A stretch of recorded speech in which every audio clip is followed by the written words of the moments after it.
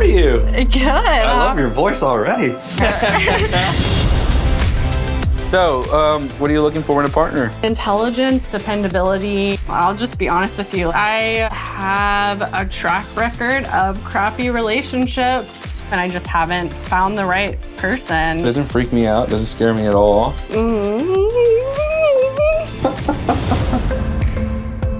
have you been in long-term relationships? I was actually engaged. I haven't told anyone else here this, but I've actually been married once before. If me and you Yeah. can potentially get married, you're not gonna hold anything back for me, and I'm not gonna hold anything back for you. I love you. My mom says like maybe you're not meant to be in a relationship. Yeah. Um I'm definitely not a perfect person, but I know I deserve love.